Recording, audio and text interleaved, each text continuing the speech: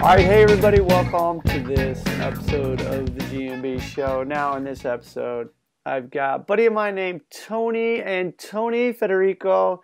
What's really up? neat guy. How you doing, man? I'm good. now, Tony is a personal trainer and he's also wellness uh, consultant. He's out of Florida. Uh, he's the editor of Paleo Magazine, also the host of Paleo Magazine podcast. He's been a speaker at both Paleo FX and the Ancestral Health Symposium. He's even written a book on paleo grilling. Tony, wonderful to have you here, man. Uh, this this show, I want to talk a little bit about Yeah. paleo lifestyle, uh, a little bit about paleo fitness, and the secret to grilling the perfect steak. Hey, Tony, Like if you it. could just give us a little bit more about yourself uh, for my listeners out there. And again, welcome to the show, man. Hey, thanks for having me, man. It's pretty cool. I'm over in Jacksonville, Florida, and you're in Osaka, Japan, and we're able to have this conversation thanks to the kind of revolutionary power of the internet. Which, of course, I, I don't think you would want to call this paleo, but but maybe it is. Maybe we're having a you know face to face conversation, good, authentic, old fashioned human interaction. Yeah. Um, so my background, as you mentioned, you know, personal training. I've been in the fitness business for about 10 years. Um, I first started really working seriously in the fitness industry at a gym in, I think it was 2006. Prior to that, studied uh, exercise science at the University of Florida. Um, had a, a associate's degree in psychology, so I was just kind of interested in behavior and, and the way the mind worked, and then obviously the way the body worked as well. Had some experience with sports and stuff as a kid growing up. Was not great at them, but uh, when I discovered exercise and I discovered you know, working out with weights specifically, I liked the self determination aspect of it. I liked the progressive nature of it. Um, so that appealed to me a lot more than kind of the typical team based sports. And that's why I ended up working in this arena professionally. I was able to find fitness success without having to be really an athlete, or at least um, at that time was not athletic. And through practice, through determination, was able to develop that in myself and now have the opportunity to share that with clients, which is awesome. It's my bread and butter. I'm in the gym training people many hours each and every day still. And then as I expanded outward and looked for more ways to sort of express myself creatively and to challenge myself professionally and and do things that I find interesting and fun and and maybe spend my free time where I'd otherwise be watching TV in, in perhaps more purposeful and useful ways. That's when I got into blogging and podcasting, writing for Paleo Magazine, ultimately hosting the podcast for them, which we've released over 100 episodes at this point. So feel like that's been a, a really cool experience. And I'm actually editing Paleo Fitness Magazine at this point. Um, Cain over at uh, the the full print publication is still in charge over there, but um, you know, definitely keeping myself busy and and really enjoy being able to dive into this you know piece of the fitness world where uh, I think things are becoming a little more progressive and thoughtful and considered, and that's one of the reasons why I really like what you guys are doing. And um, that's what I'm that's what I'm here for, man. And just rap about movement and and kind of geek out on some of that stuff. Well, that's cool. You know, I mean, um, you know, you've been very cool to uh, feature me and GMB on, uh, you know, your stuff that you're doing too. And and today though, I kind of want to take a look though, really at, at what you're doing. You know, you're a big believer in the paleo lifestyle, and so there might be some people, some of our listeners out there, who don't really, you know, know too much about the paleo lifestyle. So maybe if you could give us a little bit of a primer on that, and uh, just you know, let us know why you just really think Yeah. it's you know the bee's knees out there. So Great question, man, because I forget that there are people out there who don't follow the paleo diet. I think that as a trainer, I'm oftentimes a, a voice of authority, frankly, and clients look to me and Yeah. really kind of value what I have to say. And and so that's kind of insular in a way, and that kind of puts you in a bubble in a way where you think that everybody thinks that what you have to say is important, uh, which is not the case. And um, then in the paleo world, I'm writing for Paleo Magazine and, and podcasting for Paleo Radio, and so really just kind of being in that in that world. A lot of the time, it, it sometimes I have to reconfigure my mindset and say, oh, okay, let's let's start from the basic assumption, which is that somebody has no idea what paleo is. Mhm. So if somebody's out there listening to listening to this, maybe they've never heard the word paleo used before. The paleo diet was originally a way to, I guess, frame dietary recommendations. And so there are some early writers, S. Boyd Eaton, mm. Cordain, um, you know, researchers, you know, scientists with with uh, different backgrounds. I think S. Boyd Eaton was a gastroenterologist, and Loren Cordain was an exercise physiologist. And for one reason or another, they started to think, well, why do we spend all this time investigating the architecture of ancient peoples and the skeletons of our ancestors and try to understand how did they live and, and did they hunt with spears or, or knives or what did they do? And we have all this information and we've we've done some good science to paint a reasonably close picture, I think, of what our our ancestors were doing. And then we also have information from contemporary hunter-gatherer groups give us a little bit of a sneak peek or a a real life sort of example of what it might have been like when human beings were wild. And I think that that's a thing that we're interested in and curious about because right now we're quote unquote civilized. And so we live in this society um, that's far from basically living outdoors and, and camping 24 hours a day and having to fight and, and, and, and seek out and, and kill your own food and, and uh, gathering things and maybe getting poisoned along the way. And you know, really an extreme lifestyle if you think about it. Yeah. So I think that's interesting to us, and there's been some good science to give us a really uh, pretty clear picture of what that looked like. But the gap was taking that information and then saying, recreate that or reimagine that or, or apply that in some way in your modern life. And so you have researchers who studied the lives of ancient people, but there was never any talk about taking that information and and turning it uh, around and saying, well, this is actually going to be a roadmap for how we could live. And the reason why that's such an important thing and, and such a significant change in the thought process is that we're facing some major issues.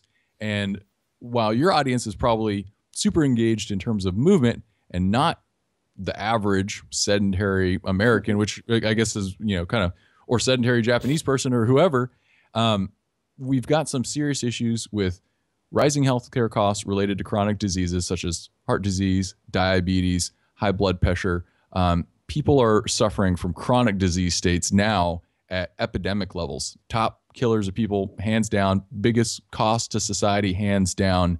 Uh, biggest uh, thief of quality of life for many people. Um, fed by multinational companies, mm. food companies, entertainment companies, driving us towards moving less, eating more, consuming more, uh, becoming less engaged, questioning less, and just kind of going down that path. And so when this was first, when this ancestral health perspective was first offered up, it, I think it solves a lot of kind of problems because there's certainly advice and there's certainly been dietary advice and there's been lifestyle advice from many different sources and fitness professionals uh, among those sources, uh, medical professionals, etc. But I think what the paleo lifestyle did is it kind of ties a lot of these different pieces together. So rather than having a nutritionist say, "Well, eat eat X, Y, and Z," and then having your your personal trainer say, "Well, move your body and, and burn calories and do this," and then having your doctor tell you, "Well, cut salt and do this other thing."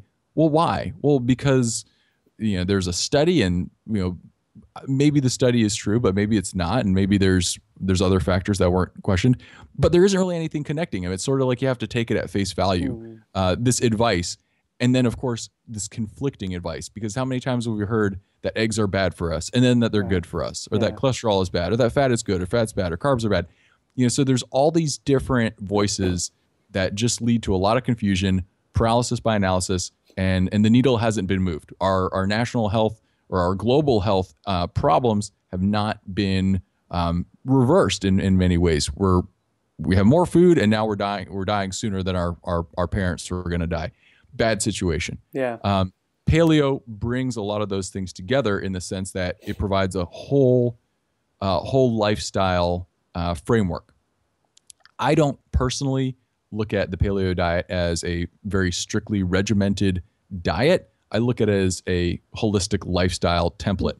And by that, I mean food wise, and this is kind of really after all that stuff, getting back to your original question, food wise, it's eating things that I can recognize by sight. You know, if I can look at an apple, if I can look at a piece of broccoli, or even read in an ingredients label and understand it, and and look at something and say, well, okay, it makes sense that there's five ingredients in this.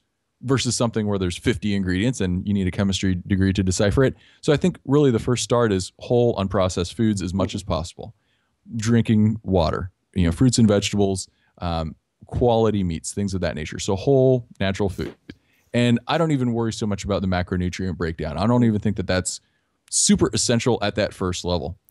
And especially from someone who's just coming at it from a you know basic health perspective mm-hmm. and coming off of perhaps a processed food conventional yeah. diet. Yeah. Um, so that diet is that first piece. And that's because we would have only been able to hunt and gather things for 99% of our time here on Earth. Most of our evolution, we didn't have refrigeration. Most of our evolution, mm-hmm. we didn't have food processing technologies. Most of our evolution, we didn't have other people making, preparing, selling, shipping uh, food to us, and then we just kind of eat it for you know a, a small effortless exchange of um, you know dollars or even bits and bytes on a computer.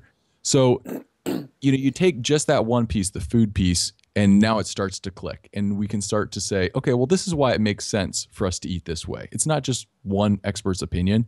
This is what human beings have been doing for thousands, if not millions, of years, and then you can take that same thought process. Well, what did people do, and how does that mesh with, and how does that make sense for me today, my modern life, and does that give me some um, ideas for solving some of the issues that I'm facing, perhaps with my own personal health or on a larger scale if you're trying to make a bigger impact in the world.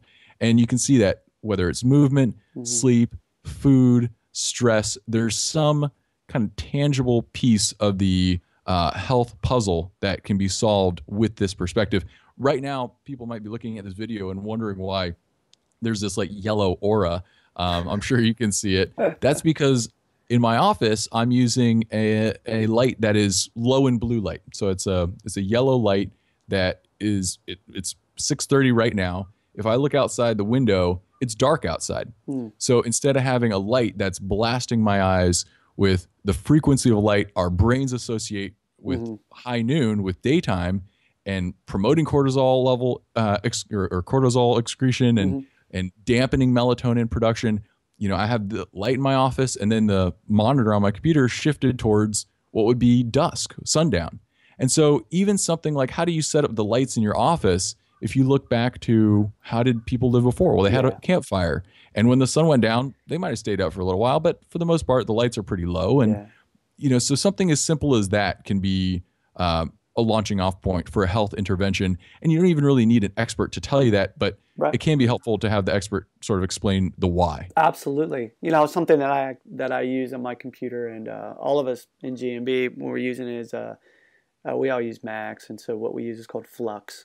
And basically, yep. I'm sure you know this, and it's really great. So for those of you who don't know about Flux out there, I'm not a representative of Flux or anything like that. I just think it's a great uh, app for your computer. It go ahead, it adjust the lighting on your computer based on what time it is outside, and uh, it's wonderful. Uh, That's what I have running on my computer right now. Yeah, so. me too, man. You gotta love and, it. And I'm not paid by them either.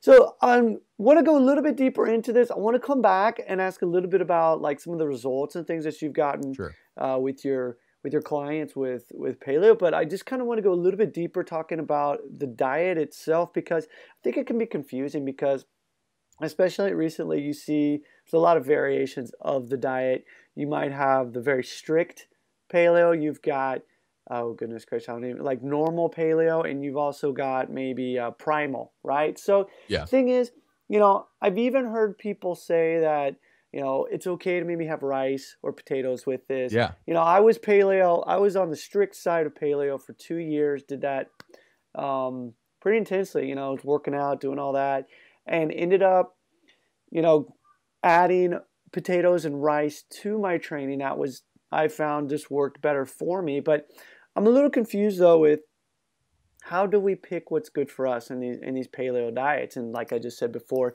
I'm I'm thinking those are the main three. Am I correct in saying that? The strict, the normal, and then primal.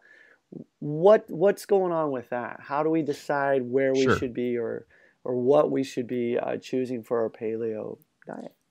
Great question. So the original paleo diet, so based on the Paleo Diet book by Loren Cordain, uh-huh. was um, basically a diet free of, and I think sometimes it's helpful to know what's not paleo before we no. say what is paleo, even if we're just looking at this particular iteration of the paleo diet. So that original paleo diet from Loren Cordain was free of grains, so rice and corn and wheat and things of that nature, legumes like peanuts mm. and soybeans. Um, it was free of industrial seed oils like canola oil, uh, cottonseed oil, um, hydrogenated oils.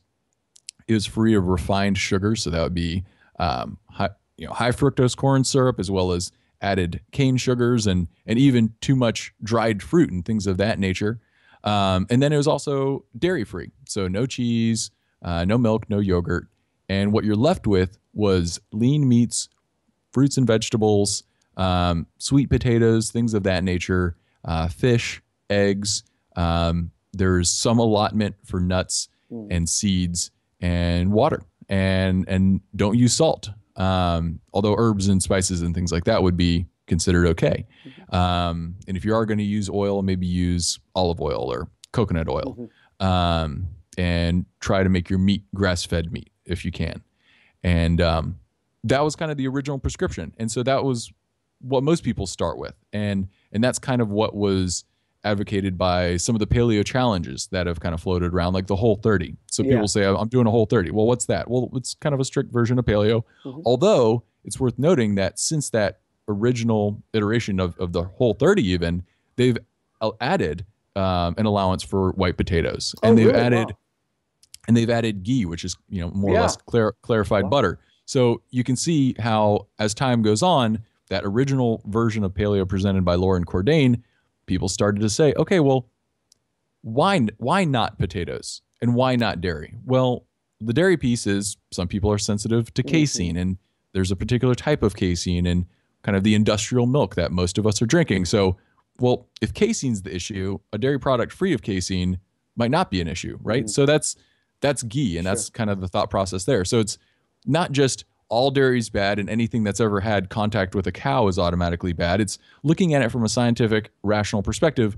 What are the problematic constituents mm-hmm. of that food? So we're starting with whole foods, but then we're kind of breaking it down even more.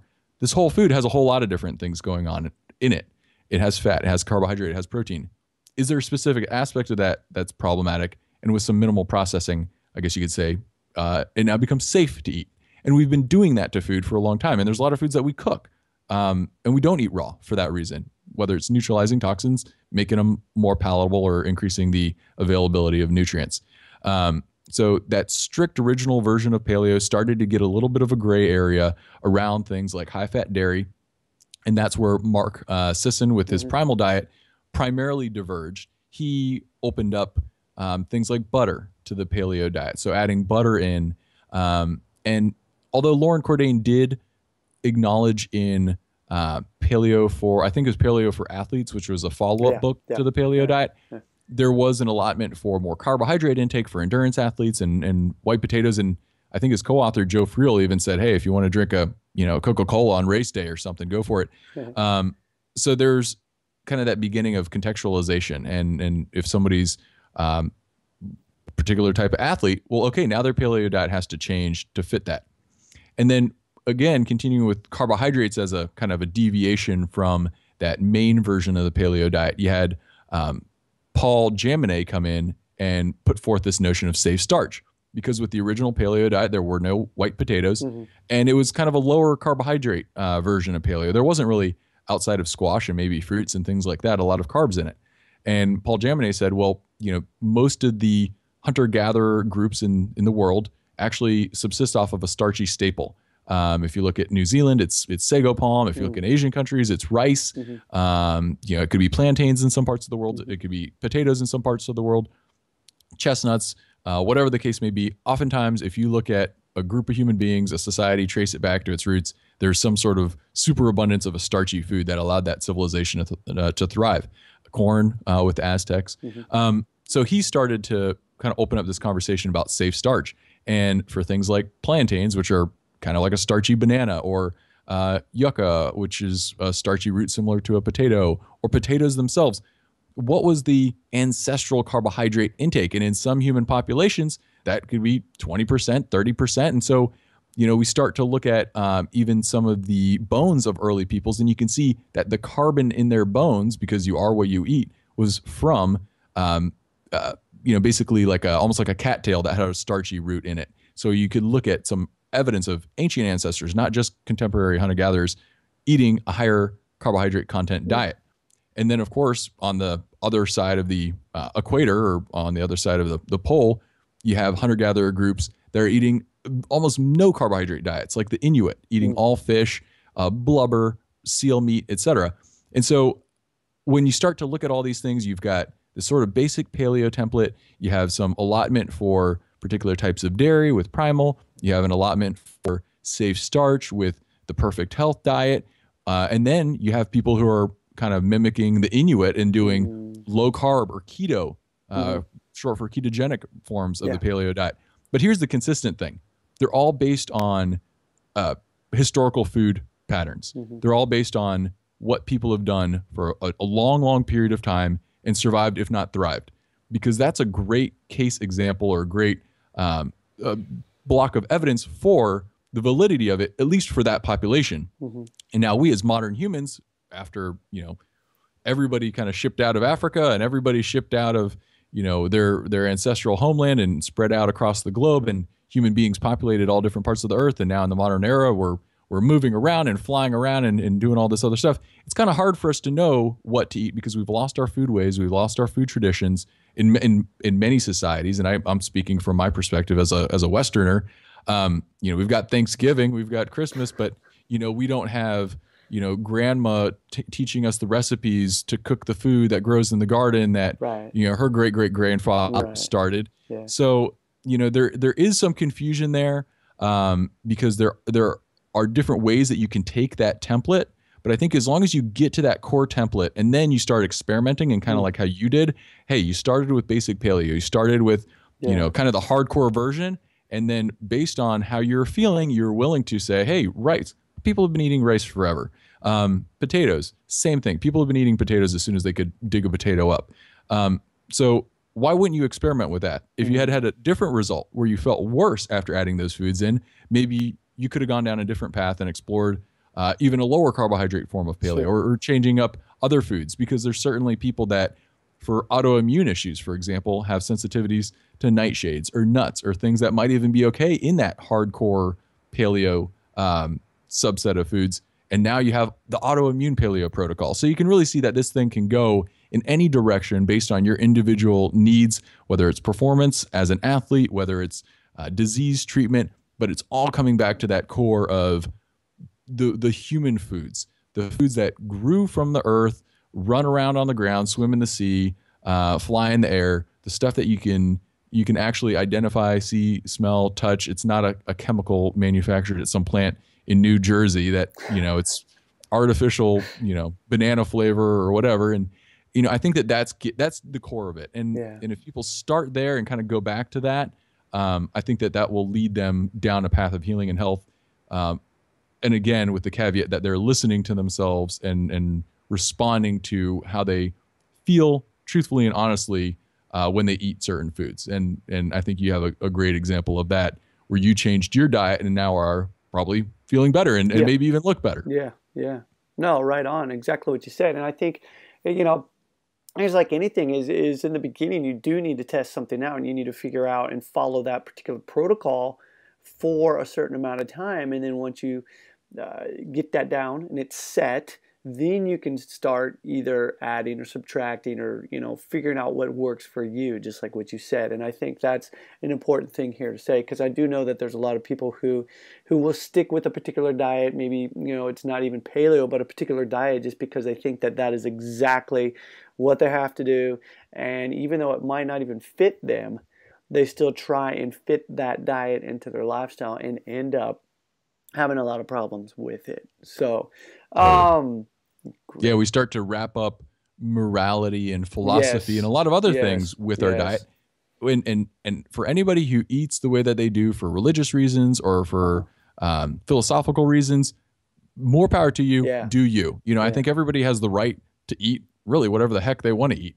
And I'm not going to, you know, be the person to say that they're wrong because there's the nutritional perspective, yeah. there's the cultural perspective, there's a religious perspective, spiritual, etc. So maybe somebody's eating a vegan diet. It's not perhaps optimal for their biology, but they're they're choosing to do that for ethical reasons or Yeah. or whatever. Great, Good. do that. Yeah. Um, exactly. But I think if we're looking at it from the perspective of what is the absolute best thing for this meat skeleton that we're riding around uh, in, on the earth with, Mhm. you know, our physical body, what does this animal need? You know, think about yourself the way that you would think about a pet that you really care about and want to live a Yeah. long time and be healthy and happy and thriving.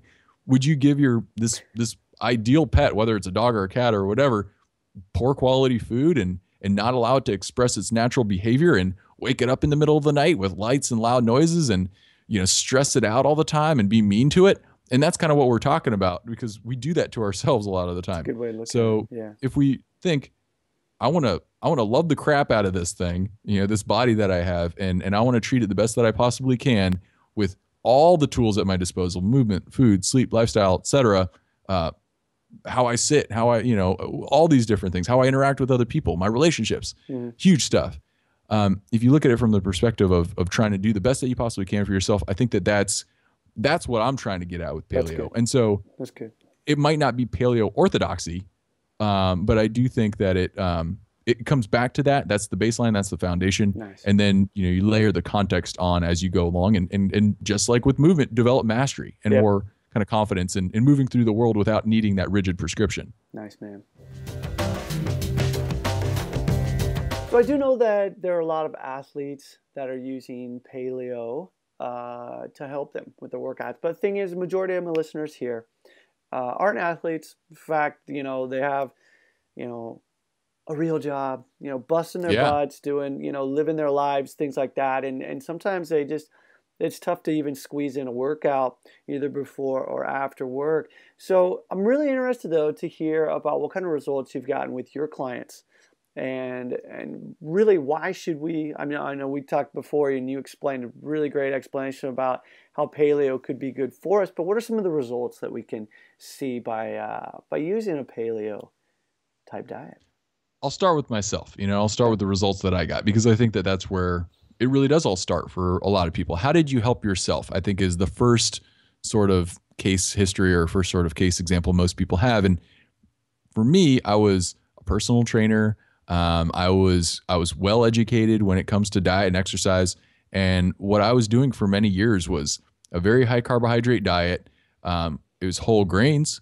I I knew enough to get off the processed food for the most part, but I still was eating lots and lots of oatmeal, Mm. lots and lots of whole wheat, Mhm. uh, whole wheat crackers with peanut butter, and Mm. um, you know things of that nature.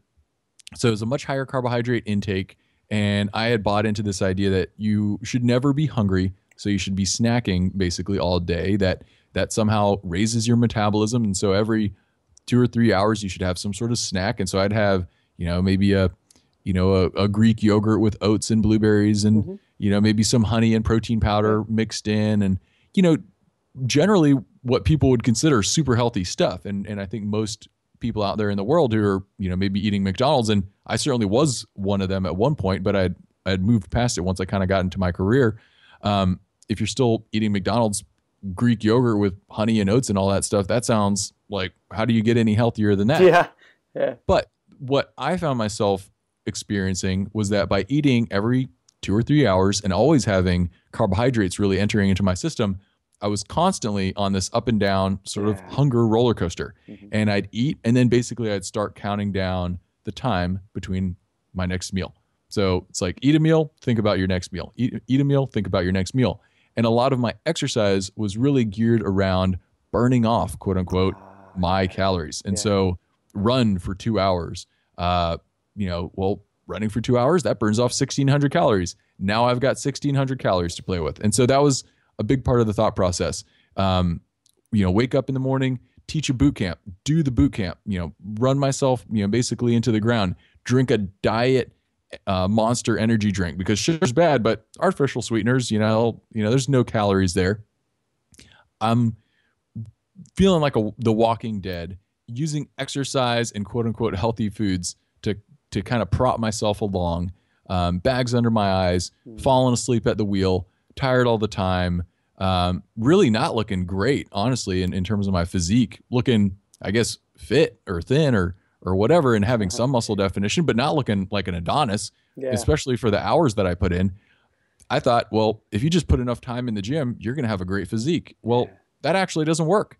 Uh, or it didn't work for me. I wasn't one of those genetically blessed people that didn't have to do anything to look good. And, and somehow me working out harder didn't make me look better, which was really frustrating.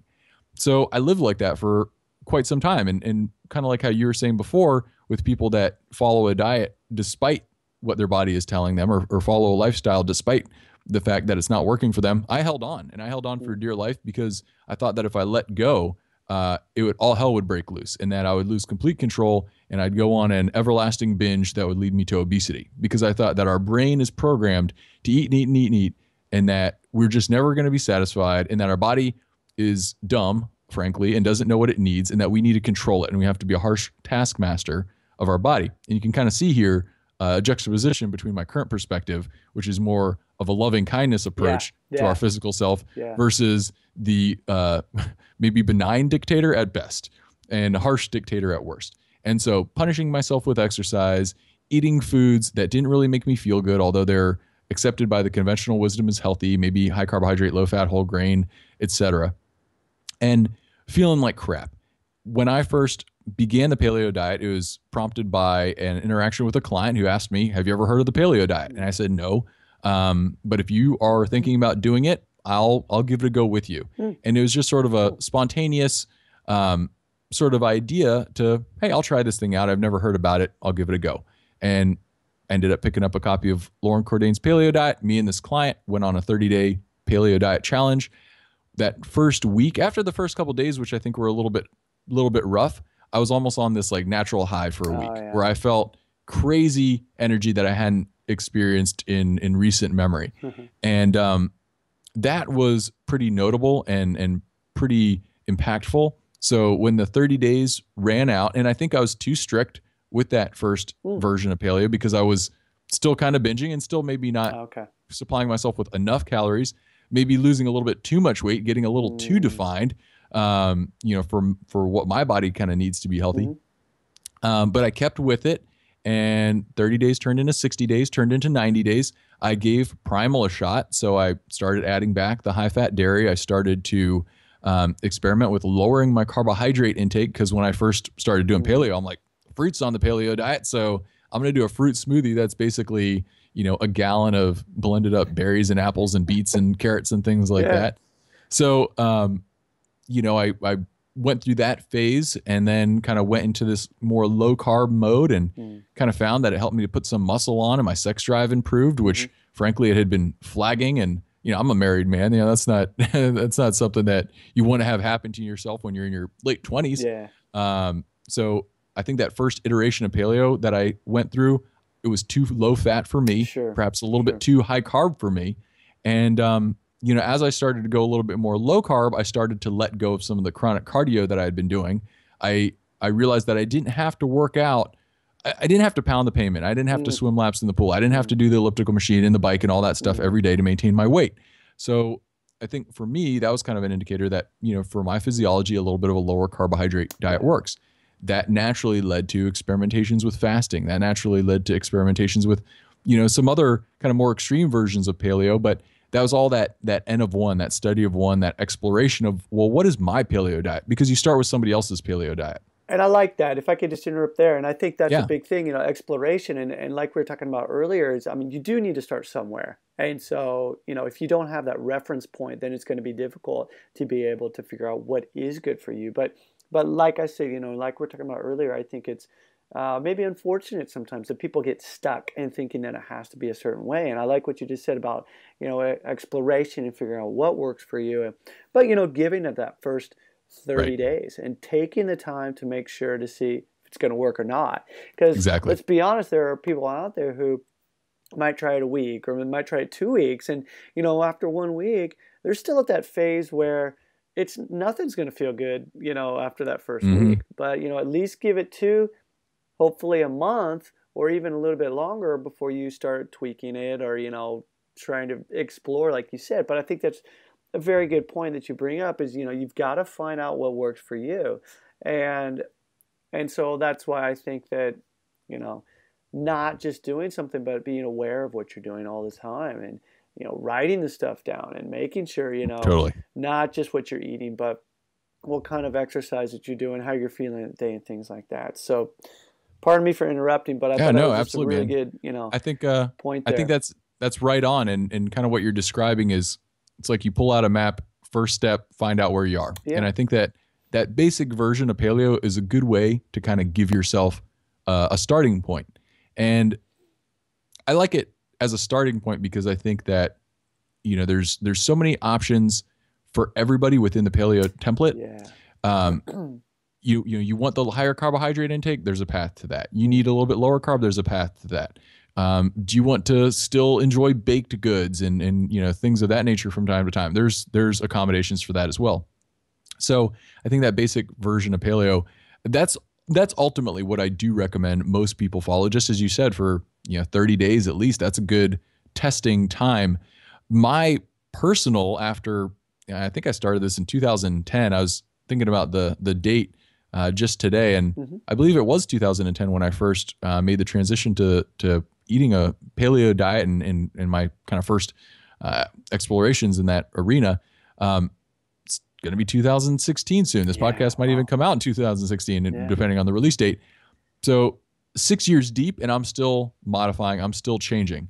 So eh, that's part of why I don't just tell people to do what I do. and that's know, good. just- yeah, I like that. Yeah, yeah, this is this is my path and this is my journey and I'm 6 years deep into paleo but that was I was already 10 years deep into trying to turn my life around Sure. and, and and get healthy at that point. So sure. it's a lifetime. It's a journey. Kind of Yeah, get comfortable with that. So Um, looking at some general principles, then I think because Yeah. this is kind of leading to you know a good thing, and you know asked about results and things. But if we kind of step back, really, if let's say that we want to go ahead and just look at this as a broad overview, then, and look at some of the just the general principles of where do we start? I guess is is Right. the best way uh, to ask here. Then, so where do we start? yeah, so basic iteration of the paleo diet, fruits and vegetables, Mhm. good quality meats, some nuts and seeds, uh, plenty of fresh water. Quit drinking. Yeah, yeah. that's always that's a tough one because you know people will do everything else, But and then, then they keep be like, drinking, you know. but can I still have my glass and- of yeah, scotch or my glass of wine? Yeah. Yeah. That's like a deal Yeah. breaker. Yeah. Um, Yeah. Get off the sugar. Just do that. Heck, do it for a week. If you can, if you can suck it up and do that for a week, I guarantee you're going to feel different. And at least now you're going to know that there's another possibility. Sure. And yeah. it's like, you know, one of the most overused analogies at this point, but uh, it's like that scene from The Matrix where he's offered the red pill or the blue pill. Yeah. Well, if you go down the rabbit hole once, and if you go down the paleo rabbit hole for a week or 30 days, it's kind of hard to come back and go back to eating that fake, Right.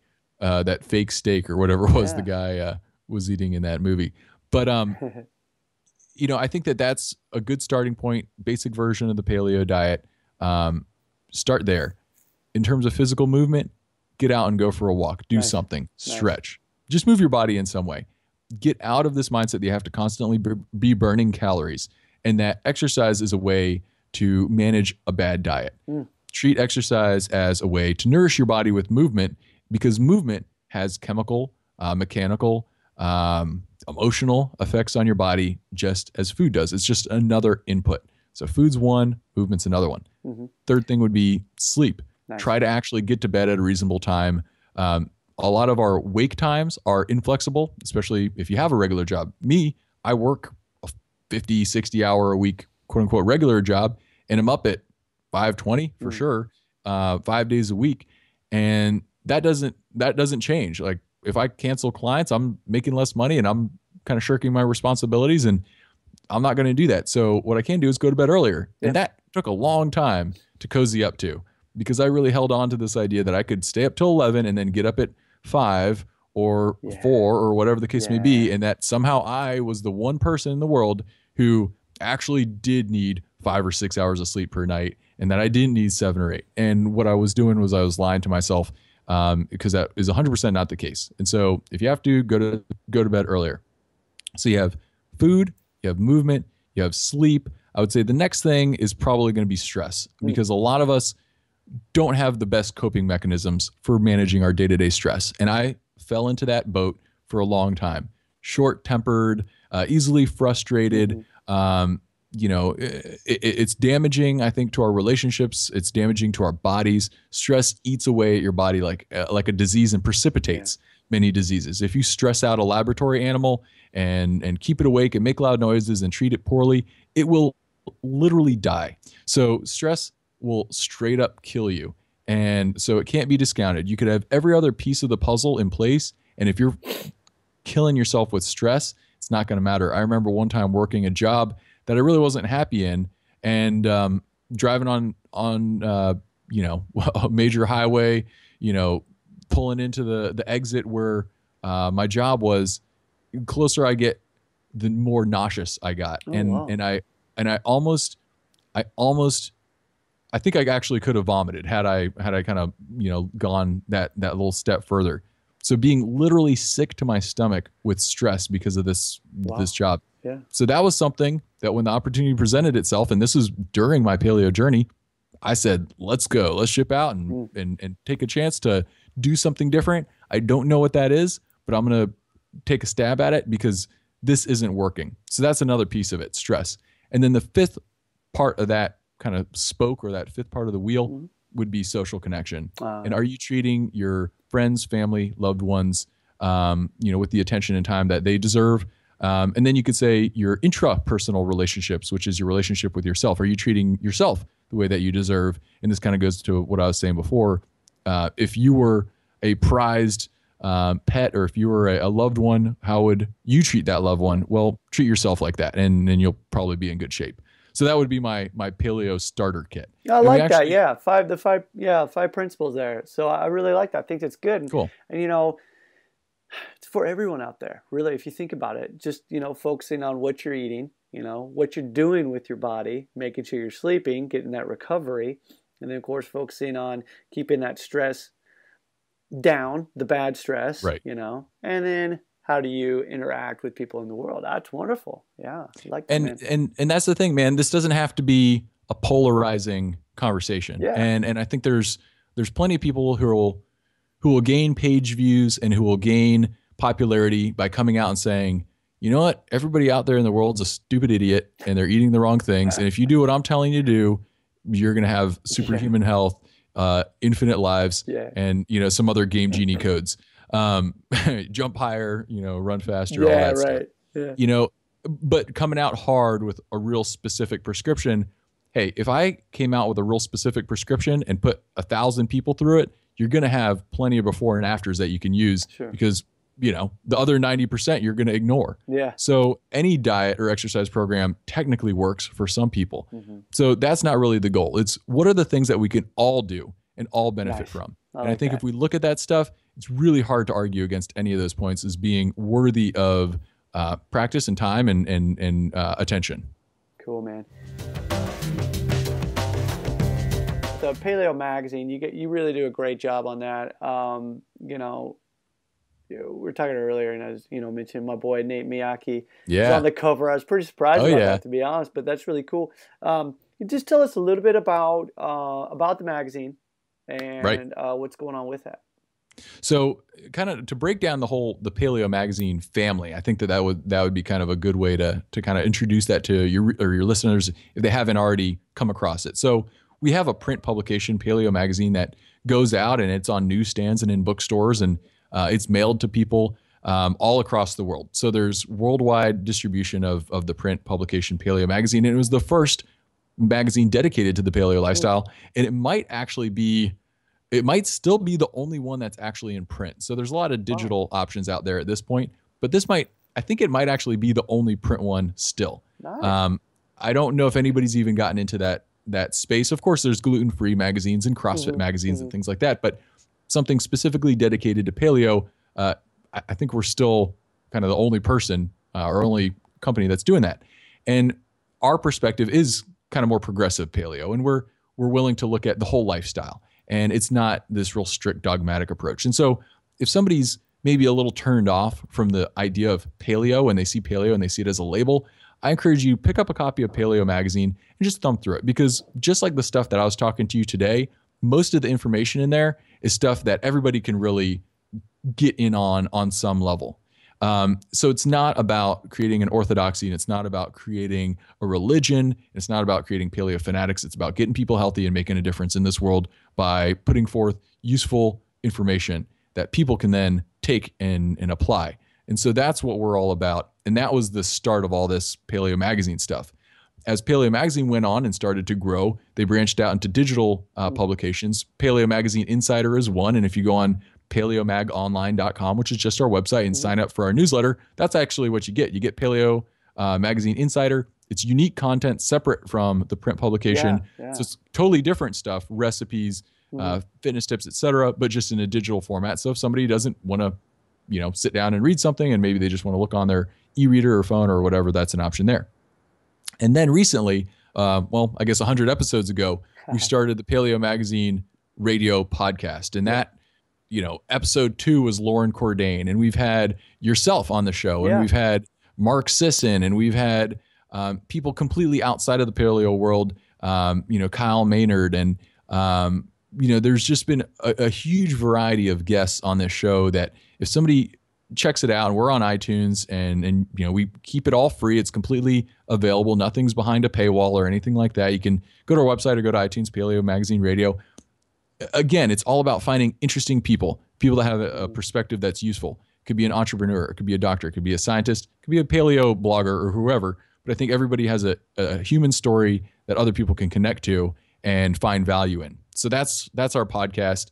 Um, and then the newest thing, kind of the newest offering, is Paleo Fitness. And just like the Paleo Magazine Insider, it's also a digital publication. It's not uh, it's not free. We're we're charging for it, and that's kind of a risk. It's a little bit of an ask. There's a lot of content that's available for free online, and and you yourself are in that world where you know there's content that's free, and then there's yeah. content that's paid. Yeah.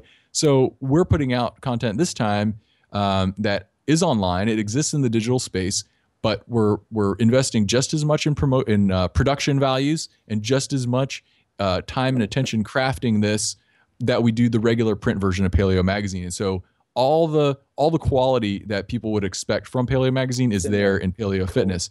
Contributors, top notch. I mean, again, you got Ryan Hurst in this thing. You've got Nate Miyaki in this thing. um, but you know, there's there's so there's so many diverse voices, but it's all coming back to not just paleo now, but mm-hmm. paleo fitness because you know what? We have the conventional uh, food world, we have the processed food and all that stuff but we've got the conventional fitness world, and that's what we're trying to be an antidote to. And so we're showing real people. The covers aren't photoshopped. Um, you know, it's it's legit information that's not meant to deceive, confuse, and manipulate you. It's meant to empower you. Nice. And it happens to be in the fitness space. So it could be food for performance, it could be body fat uh, reduction techniques, but we're shooting straight and trying to make you think a little bit differently and, and, and more deeply. And so, again, paleo doesn't mean that this is a CrossFit magazine. Paleo yeah. doesn't mean that this is a, a run around in the woods, uh, you know, completely naked. Uh, that's not our, our fitness prescription, you know, donning loincloths and, and clubbing uh, small animals. Um, this is this is a modern day lifestyle. This is a legitimate way to to kind of uh, create an operating system for success in in being a human being and and in the fitness space or with Paleo Magazine and some of the other stuff in the in the broader lifestyle space. And so that's kind of the things that we're doing. And you know, I think a lot of it is ambitious. And you know, lately I've been thinking a lot about it and and and feeling very passionate that this is uh, information that needs to be heard and hmm. seen and received and shared in the world because you know what, you might not change the trajectory of the of the human species as a whole, but you might be able to influence a uh, single person or a couple people or a dozen people and you do that and then you have changed the world. Yeah. and and i think that that's a worthy uh, a worthy goal and worthy venture and that's really what we're trying to do. I love that. I love that. Also about which is about empowerment and you know letting people know that they do have control over what they're doing instead of just being like a robot right. thinking there has to be some way. Good stuff man. And speaking of empowerment i want you to to empower us. Let us know how how can we grill the perfect steak. Oh, okay. I've been waiting to ask you this whole time. Steaks, my favorite food out there. I love to barbecue over here in Japan. Yes. What's the secret to the to creating or grilling the perfect steak? Got it. So so first and first first and first mostly. Um, I don't know if you ever watch uh, the Kroll Show and No, Bobby no, Service. Oh, all right, never mind. Um, so a good piece of meat. So the steak itself, the the food itself, that's the starting point. So for me, I really am going to go for a grass-fed ribeye. That's my choice of steak, and the reason for that is not only is the meat very tender, but it it's a, a cut of meat that's generally well marbled with fat. Fat makes things taste good. I'm not shy to go for the fatty steak, especially when that fat is from a cow that ate grass and is full of nutrients and tastes amazing. So, first step, a nice, you know, maybe an inch thick ribeye steak from a grass fed and grass finished cow. Hmm. I want the real deal. I want to taste, uh, I want to know what, that I'm eating a cow, basically. I don't want it to taste like inert, you know, protein matter. So, something that's got flavor, that's got substance. Um, seasoning wise, I'm generally going to go with a good quality extra virgin olive oil, salt and pepper, and maybe like thyme or a little rosemary um, if I'm feeling a little little adventurous. But in more than more often than not, it's good quality olive oil, salt, um, a nice uh, naturally mined salt that's got some texture and some some some body to it, and then some good fresh ground black pepper. And so you get keeping that simple. I like that. Right, exactly. So you get your steak coated with that. Um, then you got to pay attention to the grill itself. You, charcoal. That's Yes, that's the choice. You know, that's the option. You know, I'm I'm not gonna do the Hank Hill roti- routine and and promote propane and propane accessories. It is a way to grill, and if that's what you have and that's what you're u- using, fine. But if you want the full experience, human beings have been cooking over fire since before we were human beings. And there's actually some good evidence that shows that cooking with fire actually led us to being human beings. So go back to your roots, get get primal on this thing, get some good lump charcoal. Um, use a charcoal starter. It's just like a metal kind of. It looks almost like a little like tiny chimney with a Yeah, handle on it. Yeah. Yep, load it up. Start it with some newspaper or some paper, so there's no petrochemicals, there's no lighter fluid or anything like that involved. It will start all of your coals and get them red hot very quickly. Dump that into your grill. I um, recently uh, treated myself and bought a big green egg, which is a Kamado style grill, which Oh. originally was inspired by I think it might have been rice cookers um, that uh, World War II um, GIs saw in Japan and brought the idea back to the United States, and then that was the genesis of the Kamado grills. One of which is the big green egg. Nice. So uh, there's there's a little Japanese connection there. Okay. Um, so I'm using a big green egg. Any grill would do. Um, hot coals. You want to sear a steak. You don't want to overcook it. You don't want it to be well done. You want there to be a little little blood. You want there to be a little uh, little rawness at the center. Um, but a really hot, ripping hot grill. Throw that steak on there. We're talking like three minutes aside. Mm. Get some char. Um, you know, sizzle the fat a little bit. You want it to be, you know, medium rare. I would say is as far as you want to take the steak.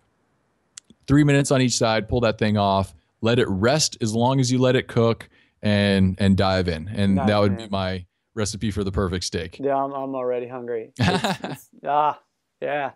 No, Nice. that's wonderful, man. Thank you so much. Uh, that's the question I've been waiting for the entire interview. All the other stuff was just you know, little chit chat. getting to the important stuff. hey, listen, you know, where can we find more info about you and what's going on with you? Right. So I try to make it easy for all my own personal accounts like social media and things like that. You can just go to Tony Fed Fitness. And so facebook.com slash Tony Fed Fitness, Instagram at Tony Fed Fitness, Twitter at Tony Fed Fitness. Cool. Pretty straightforward. Um, We'll go ahead and put the links in there for everybody. Perfect. so that Make it even easier. Yeah, you know, it's an easy way to do it. I've got Oh, one yeah. final question for you, and that is any parting words of wisdom for listeners out there? Yeah, you know, you know, coming on here and, and coming to your house, I guess uh, you could say I wanted to maybe, you know, uh, think about okay, these are these are people that are are, are doing gymnastics movements and and and and getting kind of creative with their their physical expression. And one of the things that I've been doing recently that if someone is out there listening to this and they're not doing this already, here's a little little tidbit that I would like to to pass on mindfulness and movement um, that's cultivate you know mindfulness cultivated in meditation can uh, be applied to movement. And so if you're uh, investing some time each day uh, cultivating stillness in your mind being aware of your breathing being aware of your body perhaps uh, participating in, in, some sort of mindfulness practice uh, transcendental meditation qigong uh, yoga something of that nature start developing that present mindedness that that that deep deep deep connection to your body where you dissolve. So you are your body. Get to that point and then start bringing that into all the different movements that you're doing whether it's uh, working on the rings or doing push-ups or pushing the grocery cart around the grocery store. Because once you start that you can practice anywhere.